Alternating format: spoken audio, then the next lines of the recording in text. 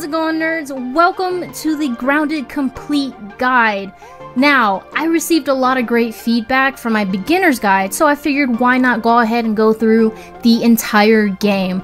I am going to go over the basics and what to expect throughout the game, but I'm not going to be spoiling anything regarding to the story, so don't worry about that. With rumors of a new update coming out, we really don't know what else to expect. So I figured why not go ahead and cover the game in 2023 before they release a brand new update. I had a lot to think about when trying to put together this video. So I figured the easiest way is to break it up between beginning game, mid game, and end game. Let's start off with the main menu. Alright guys, without further ado, let's go ahead and jump right into it. This is going to be your main menu. You have the option of doing single player or multiplayer. Now, one of the things that I really love about multiplayer is not only do you get to host online games, you don't have the sole access to the game itself. When you start a new world, you can share it with your friends and they can actually get on the world without having to have you on the server as well. So that's that's one of the things I absolutely love about it. So we're going to go ahead and jump into a new game. Now, when you start a new game, it's going to default you to medium survival mode. Now, if this is your first time playing, you're going to come across a lot of challenges. You're not going to have to worry so much about food and water first time because beginning is pretty challenging. Uh, it does say that friendly fire's off, so when you play with friends, you don't have to worry about killing each other, which is, it's really easy to kill each other in this game. Now we're gonna get into woe mode. This is the most punishing way to live the tiny life. I am not joking. Everything is harder, and for good reason. So playing woe mode, especially compared to the other difficulty levels, I feel like it's quite refreshing so if this is not your first time playing the game and you haven't tried Woe Mode, I highly recommend it. It's a lot of fun. It's frustrating, but it's a lot of fun. Then you have Creative. Now Creative is just it's exactly what it says. Don't worry about, you know, bugs and all that stuff. You can choose no bugs, you can choose with bugs. Uh, it doesn't really matter. They're not going to aggro onto you unless you switch off the stats. But this gives you pretty much free roam to build whatever you want. This game does incorporate building and it's one of my favorite games to build in my in my opinion. Then you have custom mode. Custom mode is very special in of itself. So basically, you're going to start off with, you know, your character selection. I chose custom mode mostly for this video, but you have the option to change your difficulty level, which is really important. So let's go ahead and start game. Now I have the dialogue turned off. There is an option to do so in the main menu, but we're gonna go ahead and get started. So right here, you're going to be, I'll show you the map. You're gonna be starting off right here, and it is one of those things.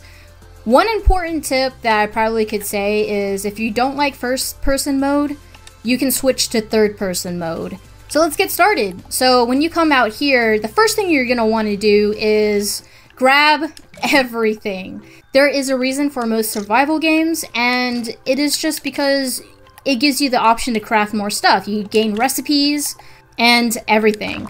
The main things you want to grab is plant fiber, sprigs, and pebblets. And over here, if you look towards the baseball, you discovered baseball. Now, keep in mind of locations. When it says you discovered something, those are really important for you to just go ahead and explore it throughout the entire backyard. So we're to pick up some sap.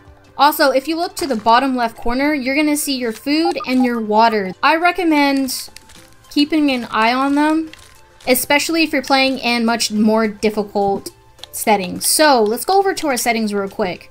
Now, it's going, if you play custom mode, it's going to go ahead and default to medium. That's perfectly fine, but here's one thing that I absolutely love about this game. You can switch your difficulty mode at any time of the game. So it's perfectly fine if you go ahead and switch to mild. Like I said, this game is challenging and it can be a bit confusing. So I recommend looking at the top left corner. Oh, we discovered a field station. So look at the top left corner. It's going to pop up these little prompts. It's basically just going to help you navigate throughout the world and navigate through the game.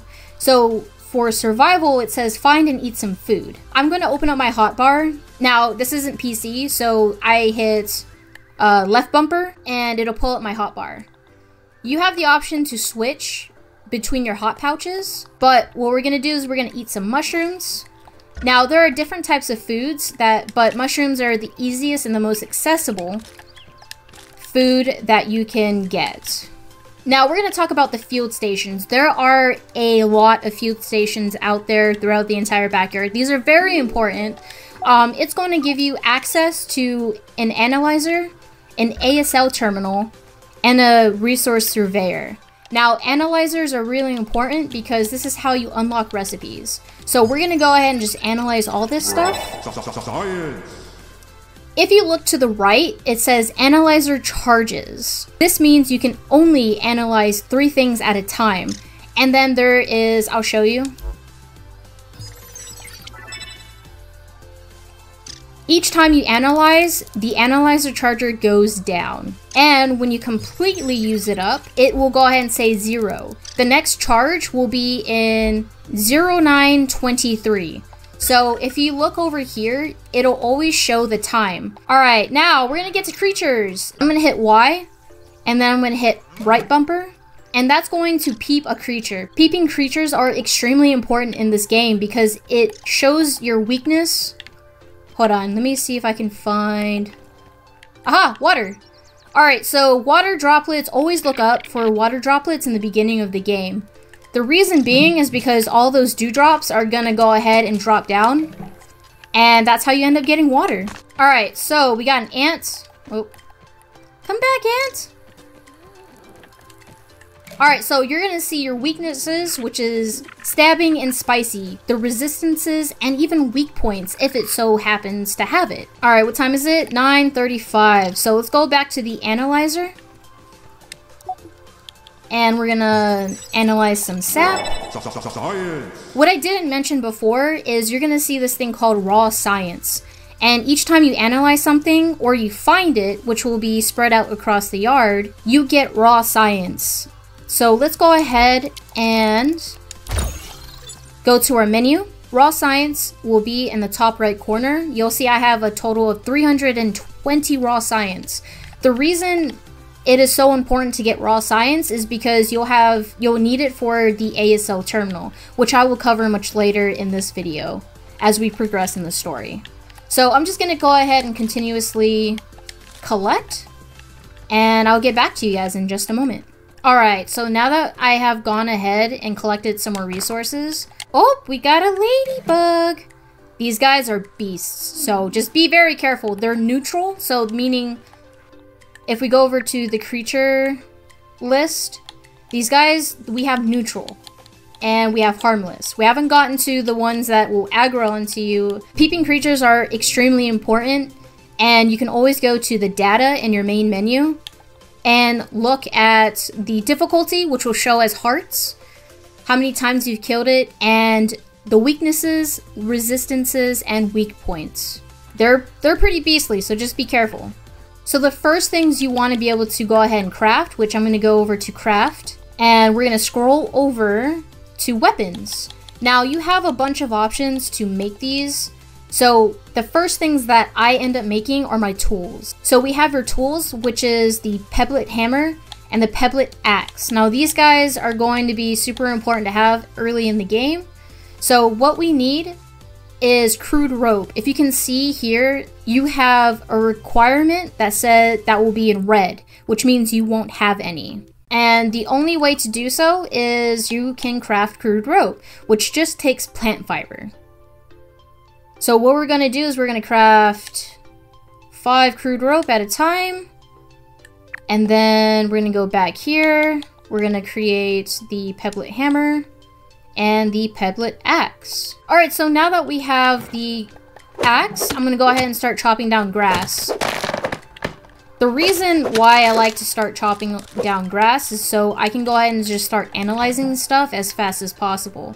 So don't forget when you chop down grass and weed stems, which I will show you here in a minute, you can analyze it. These are going to be your building materials. And yeah, so over here we have some dry grass. That's another thing we can analyze. Hello Weevil. So these guys are super important to have.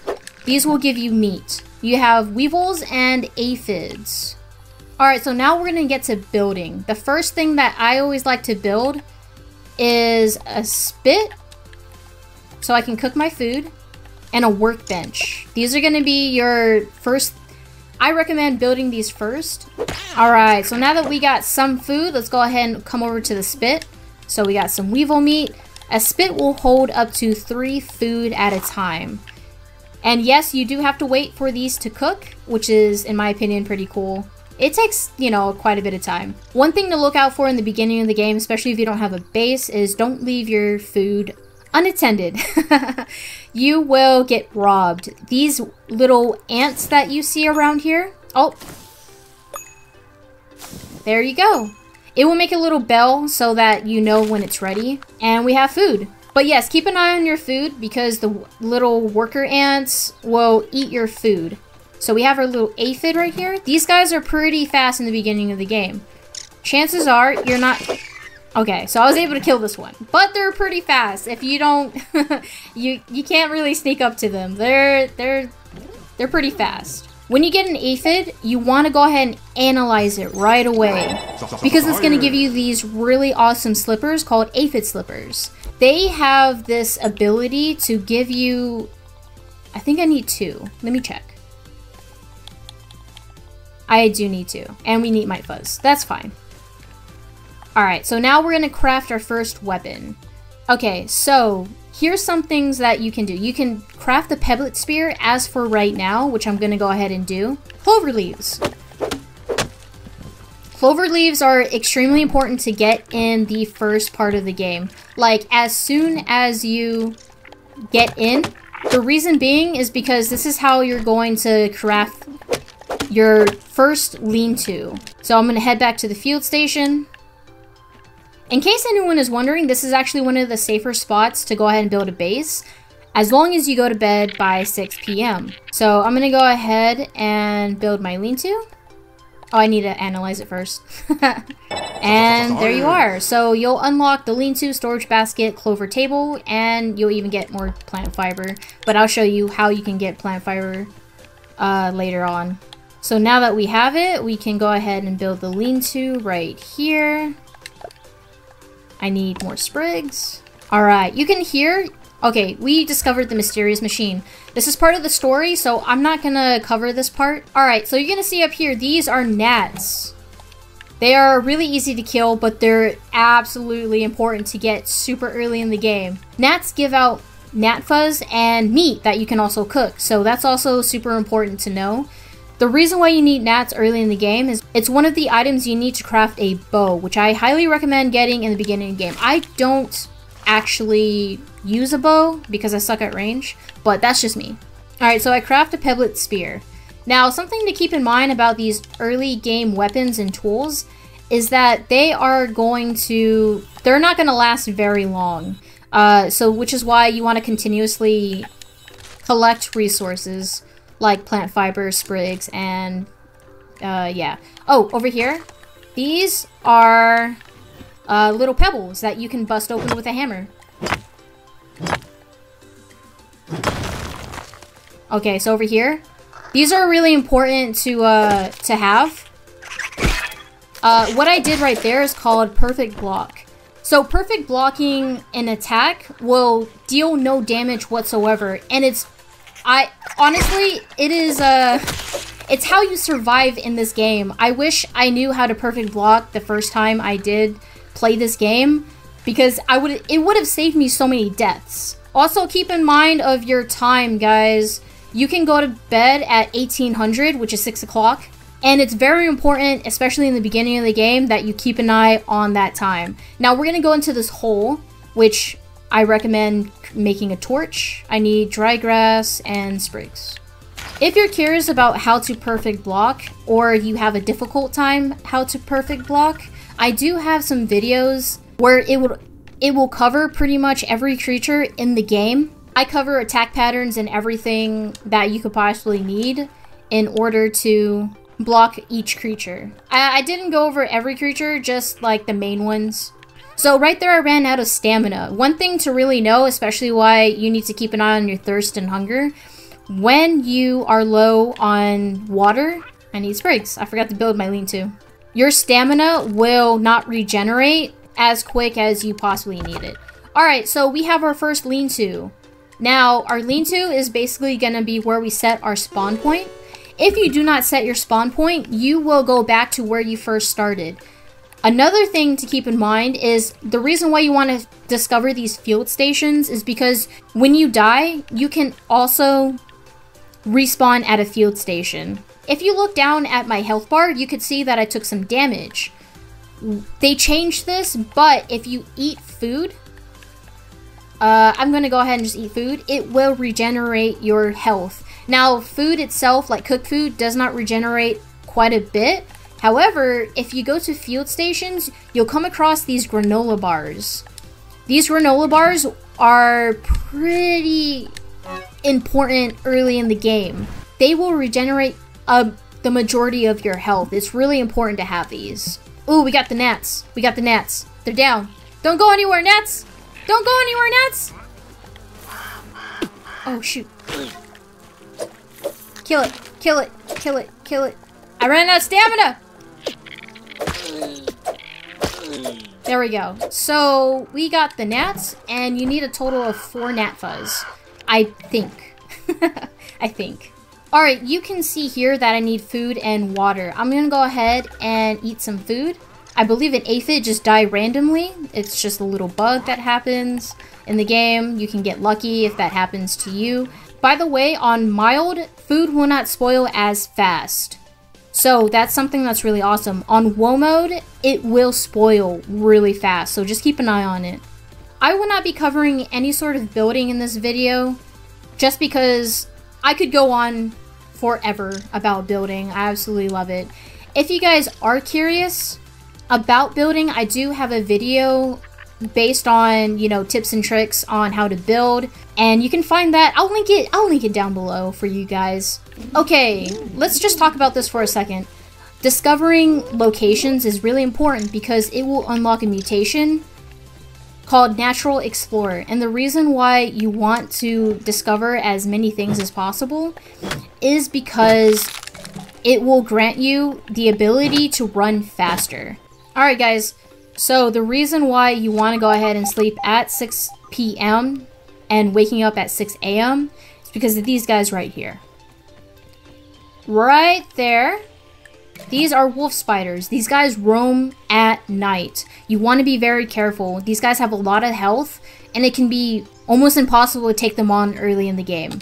So we have two over here that sleeps under uh, within the oak tree itself, but you don't really have to worry about them. So let's go ahead and keep collecting these acorns. So collecting these acorns, you'll always be able to find it by the oak tree. Uh, and then you can find a bunch of sap over here as well in case you ever are low on sap.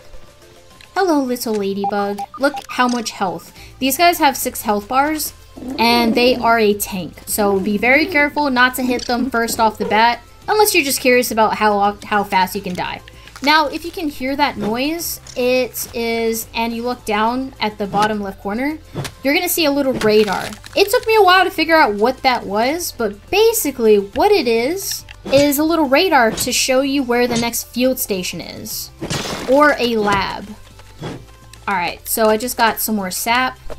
Okay, so we're to get over here. This is to be your first lab that you go to.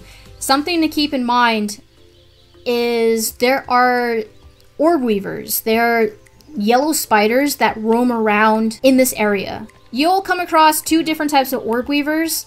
One is called an regular orb weaver, which is the big one, and then you will come across an orb weaver junior, which is which are the smaller ones.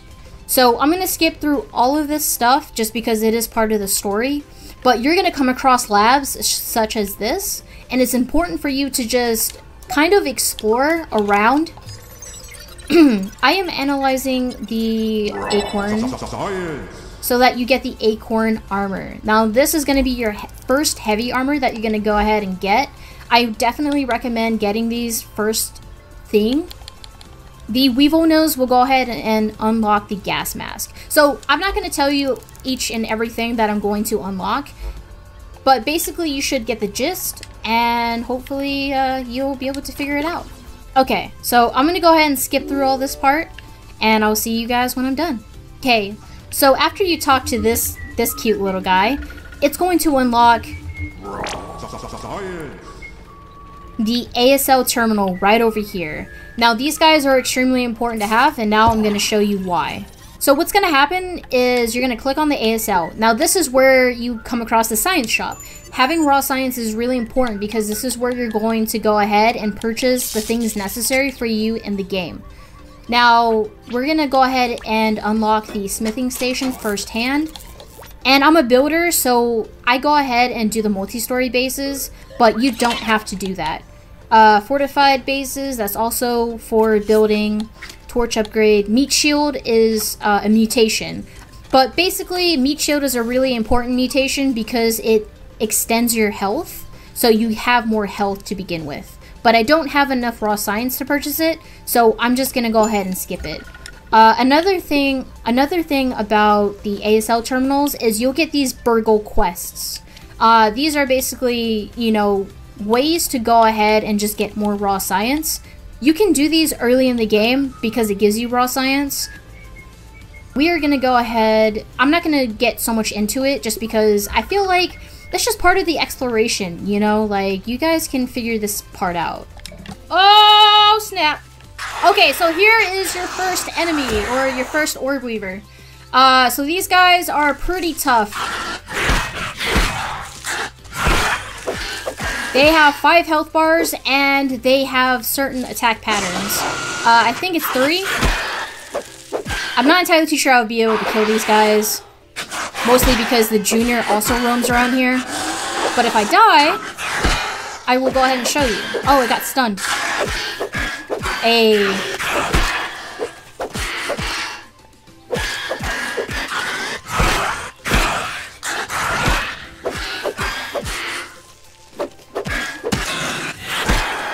careful with the webs, you will get stuck in it.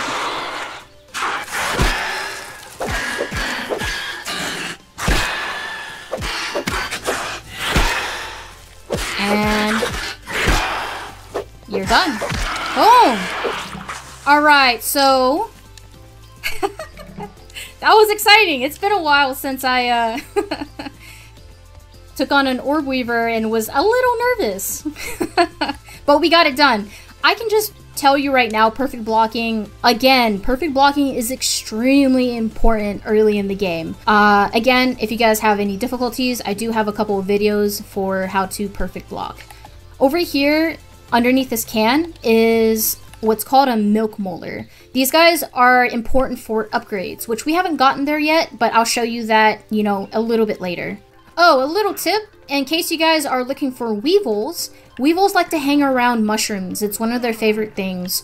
So if you ever need food, you can always find them by mushrooms. Alright, so we're going to go ahead and we're going to come over here. We're going to make our aphid slippers. This is going to make us run faster Alright, let's see what we need to make the first acorn armor.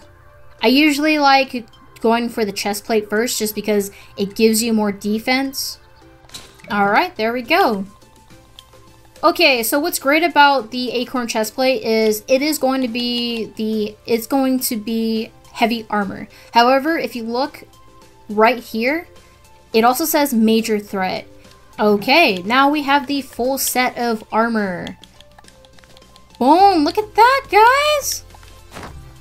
Boom! Having a full set of armor will give you a buff, so just keep in mind. However, you can switch up, you know, different different armor and pair it together to give you certain effects. After you do the Oak Lab and you talk to BURG.L, you have two options to do. You can either spend this time building a, you know, a decent base, like a little starter base, or you can go straight over to the waymarker. Keep an eye on these waymarkers, especially regarding to the story, because it'll just show you where you're supposed to go to next. Alright guys, so one of the early heavy hitters for weapons I recommend you getting is called the Spiky Sprig. Now, this guy will give out quite a bit of damage. It's a two-handed weapon, but here's one thing that it has. It's called Bleed. Um, what basically means is when you attack a creature, it will go ahead and do so. It will bleed. It will drain the health a little bit at a time. So if you take a look at... Okay, that was really quick. So I hit the worker ant. You see how fast that's draining? Now, keep in mind, the damage will vary depending on your difficulty level. So, you know, being on mild, it will drain pretty quickly, so you don't have to worry about it. But it only took one hit, which is ridiculous. Alright, so now we're going to head over to the Hedge Lab. And I'm going to skip through all this part just because it's a little annoying to get there. But it's just, it's, you know, just make sure you have a Dandelion Tuft. Alright, welcome to the Fling Man Disc. Now, over here is where you're going to find the entry point for the Brood Mother herself. If you guys can't find the Hedge Lab, which can be difficult to find at first, uh, I can either make a video on it, or you can just search it on YouTube. Uh, there's a couple of videos that will show you how to get here, no problem. Alright, so this is going to be the Hedge Lab. You're going to go ahead and mash these keys right here. Um, I'm in creative mode as of right now. I switched over. You will come across creatures such as Spiderlings, Orb Weaver Juniors, and these thing called Pasties. They are little robots that pack a punch. So definitely be on the lookout for those. As you're roaming the hedge, just be careful for all the orb weavers that do roam around here. They're located much further in the back of the hedge than they are uh, towards the entrance of the hedge by the deck. Make sure you do the hedge lab early in the day just because there are three wolf spiders that do roam around in this area. Okay, this part is a little boring, but it's super important to have early in the game. These are called, these are grinders, and these are spinning wheels. You want to be able to have uh, you know, a, you know, a couple of them early in the game. Spinning wheels will create silk rope, crude rope, and lint rope. Grinders are important because you can uh, you can make pretty much every type of slurry, different types of plant fiber. So if I scroll down to plant fiber times 8, it requires weed stems. Just a little tip. Alright, let's get into tier 2, guys. So, the more creatures that you end up defeating, the more things you'll be able to unlock. I'm going to recommend the Ladybug Armor. The Ladybug Armor is so important, in my opinion. If you don't want to take too much damage, this is going to be the best armor for you. It is a heavy armor, and it gives you block strength. Whenever you upgrade armor and weapons, it will give you a certain buff. Now, what we're going to do is we're just going to go ahead and upgrade these. I always go for the sleek effects. When you get to level 5, you're going to have two options. You're going to have the bulky and you're going to have the sleek options. Now, if you can see the enhanced effects to the right, you'll see that this says plus 35% defense and plus 35% durability. It is going to be a lot more for the sleek effects. However, here's where things get really interesting. If you so choose to do the sleek effect, it gives you a buff. The reason why the ladybug armor is one of the best armor to have is because it gives you increased healing. After you have the spiky sprig, which I recommend to be your main weapon of choice in the beginning of the game, you're going to want to go for the red ant club. Now, two-handed weapons are slower, yes, but they deal a lot more damage. And you want to be able to take these creatures down as fast as possible. In my opinion, you're going to have the tier 2 armor and axe for for quite a while until you get to tier 3. Unless you've been playing this for a while, you can get up to tier 3 pretty fast in the game. Alright, your very first wolf spider. Again, I do recommend uh, having at least tier 2 armor. It can be frustrating, especially if you don't know how to perfect block. Let's go ahead and do it.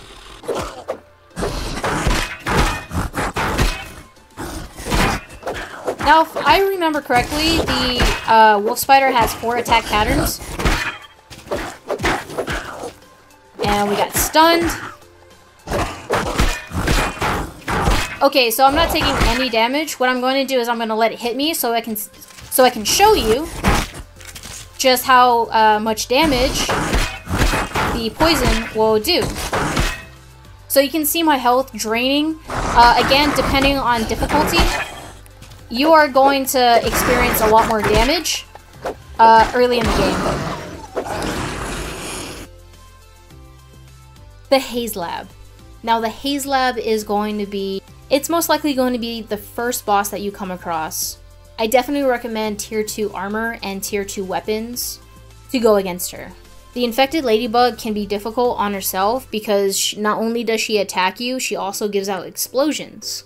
But what makes it even more difficult is that she sends in ads as well. You'll come across some infected mites and maybe even infected larvae.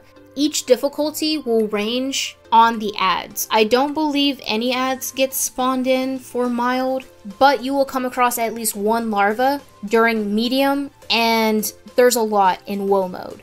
The strategy, especially when playing in medium or woe mode, is to keep moving. There's going to be explosions. There's going to be mites throwing their infected goo at you. There's going to be larva that wants to explode. There's going to be a lot. I recommend getting rid of the ads first, mostly because they don't they don't continuously spawn. They'll spawn in once, and once you defeat them, they're pretty much done and you can focus on the infected ladybug. I'm not going to talk too much about the fight itself just because I think it's exciting to go against her, but these are some of the tips that I found helpful going against her. Once you get the insect hammer, you have the ability to go ahead and collect milk molars. There are two different types of milk molars. There are regular ones and there are mega milk molars. They're going to be spread out and hidden throughout the entire backyard, so just, you know, explore out, try to find them. The reason why milk molars are extremely important is because this is going to give you upgrades for yourself entirely. You have the choice between max health, stamina, hunger and thirst drain, which I don't really care about, unless you're in woe mode, healing, and max active mutations. I will tell you this right now, the mutations is the first thing that I max out. I focus on mutations firsthand just because the more you play the game, the more mutations you end up getting, and you want to be able to stack those mutations so it's easier for you to survive. However, if it's your first time, I do recommend going for uh, max health and max stamina right off the bat until you can get the hang of perfect blocking. So the Pond Lab. The Pond Lab is really simple. You don't have to go against any bosses like the Haze Lab or the Black Ant Lab. Instead, what you're going to need are very vital items. The first thing that you're going to be able to get is the gill tube. It's just going to allow you to breathe underwater for a little bit longer. The fin flops, which will allow you to swim faster, as you can imagine. I'm not going to show you where the lab is located. I think it's exciting for you to just discover it on your own. However, if you guys are having a difficult time, there are videos on YouTube that you can go ahead and just look up. The Black Ant Lab. Now, the Black Ant Lab is going to be like your final official lab. It's where you go against the assistant manager. The assistant manager is going to be the toughest boss that you're going to come across during the game, de depending how you play the game. But if you go along with the story, it'll definitely be the hardest boss.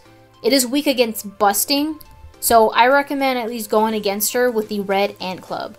I maxed out my armor and my weapon, so they were level 5. So I would definitely recommend at least that. The reason why it's so difficult is because the assistant manager will continuously send in ads. You'll have lasers, you'll have electrical shocks. It can get pretty overwhelming pretty fast, but that's pretty much all I'm going to say about it. The reason why the Black Ant Lab is extremely important is because once you defeat the assistant manager, you get the assistant manager key card. This card is important throughout the entire game because it unlocks certain doors where you can get, you know, treasure, the zipper to go up zip lines, and so much more. Once you get the BURG.L chip that's inside the Black Ant Lab, you will unlock Mighty Globs and Sturdy Plating. This will allow you to upgrade past level 5, and the BURG.L chip that's located in the small lab, little outpost, will also unlock the flavored globs. These are important to have throughout the game because when you peep creatures, you'll find out what their weaknesses are. which will be easier for you to survive in the game itself. Now, for the absolute fun part, Tier 3. It is time to enter the upper yard. The upper yard, on top of the retaining walls, is a whole nother level.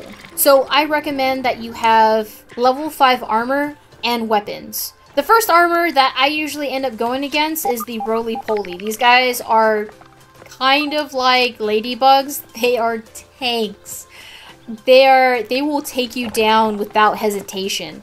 I forget how many attack patterns it has, but if you're curious about it, go ahead and watch the parry videos. That is linked down below. There are a lot of heavy hitters in the tier 3 section. I recommend taking on the upper yard after you've defeated the Black Ant Lab. So once you get the Mighty Globs and the Sturdy Platings, um, I went ahead and just upgraded this Red Ant Club to Mighty just because it does give more damage. I don't really worry about the flavored globs until I'm a little bit more established. Now, remember when I said that peeping creatures is extremely important? Tier 3 creatures, this is where it's going to come in handy. Alright, so over here we have the ladybird.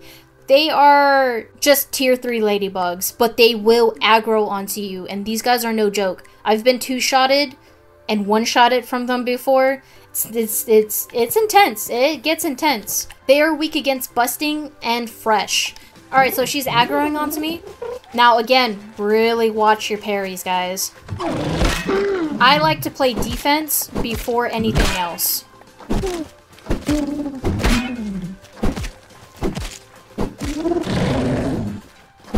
Really watch her attack patterns. There we go! And there you go. So you end up... I actually got a ladybird shell. So ladybird shells are uh, super important because they can be crafted into making supreme plating. Alright, so once you get your uh, set of tier 3 armor, you're pretty much set to take on the rest of the yard. Uh, there are going to be creatures that will, you know, still do quite a bit of damage, but you don't really have to worry about that as long as you have your tier 3 armor. I had at least one piece of tier 3 armor before I took on the, uh, you know, the Haze Lab and the Black Ant Lab. Mostly because it's difficult on your own, uh, especially, you know, like I said, each difficulty has its, uh, it has its moments. You know, at this point, you've already got a handle of the game itself. You've defeated, you know, some creatures. Maybe you've even defeated the Brood Mother but it's going to unlock a lot of stuff that you can do in the upper yard itself. So I'm going to talk about Wendell's lab.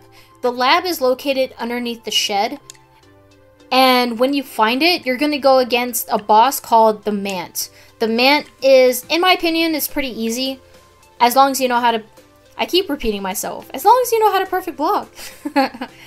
you can do it at the end of Tier 2, as long as you already beat the Black Ant Lab and gotten like the Mighty Globs and the Sturdy Plating. I would at least recommend that. But if you happen to save it for last and you have and you're in tier 3, then you should be able to take it on no problem. The Mant is weak against fresh and stabbing. If you happen to get the Rusty Spear, which is a tier 3 spear, and you upgrade it to fresh, you should be able to take it on a lot more. However, there is this weapon that is absolutely clutch. It is called the Mint Mace. You have to purchase the Mint Mace, and the way that you do it is you have to get the BURG.L chip from the maze on top of the picnic table. There's a chest in there. I'm not going to tell you where to find the key for it, because again, it's part of the exploration. I think it's exciting. But yes, the Mint Mace is to be, I mean, it carried me for quite a while. Like, I still use it to this day, going against much tougher creatures. So I use the Mint Mace going against the Mant. Plug the haze, don't plug the haze. This is the question you're gonna want to ask yourself. If you so choose to plug the haze, now the reason why people contemplate on plugging the haze is because when you do, you're gonna come across this creature over here called the Infected Wolf Spider. The Infected Wolf Spider is is it's a beast. It's tough.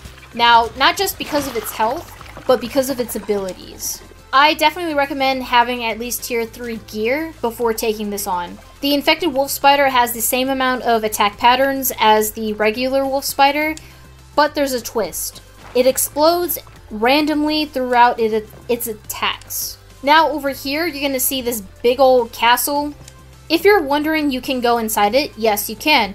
Um, I'm not to tell you why this castle is important because it regards to the story itself, but I definitely recommend either having upgraded tier 2 armor or tier 3 armor. It's really your choice depending how comfortable you feel as you further progress in the game. Mixers. There are four simple mixers. I believe it's four, maybe five. I think I'm missing one.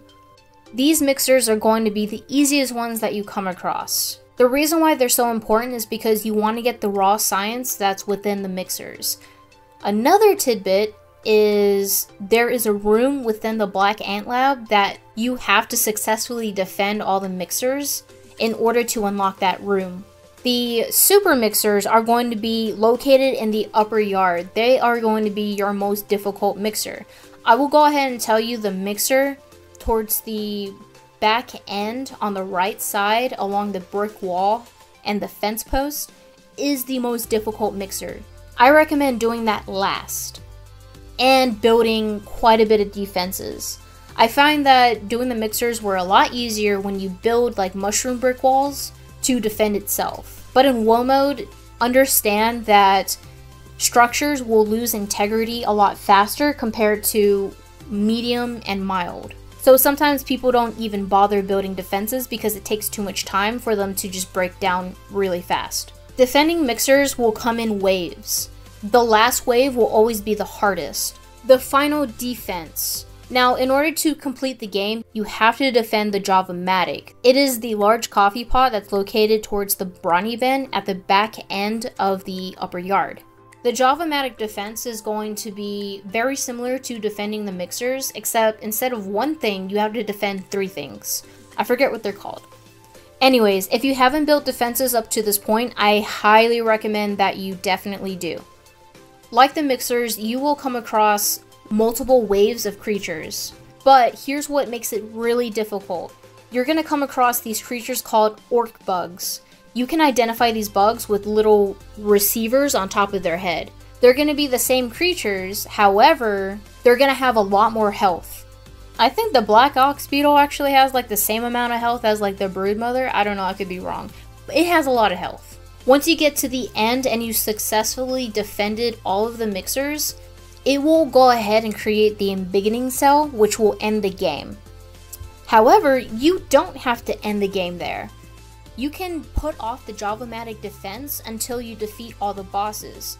You want to be able to defeat all the bosses in order to get a much higher grade level of completion.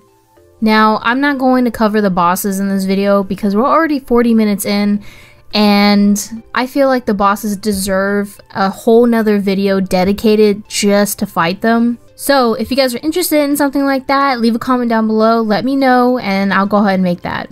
Anyways, we're gonna call it here. Thank you so much for watching. If you guys did enjoy this video, go ahead and leave a like. Comment down below a nice little tip that you would give to somebody who's just starting out. Or let me know about your experience playing Grounded. Maybe I'll learn something new. Oh, and don't forget to subscribe. We are almost at 500 subscribers, which is absolutely amazing. If you want to see more videos like this where I come out with little tips and tricks videos, subscribe so you don't miss them. Thank you again for watching, and I'll see you in the next video. Bye!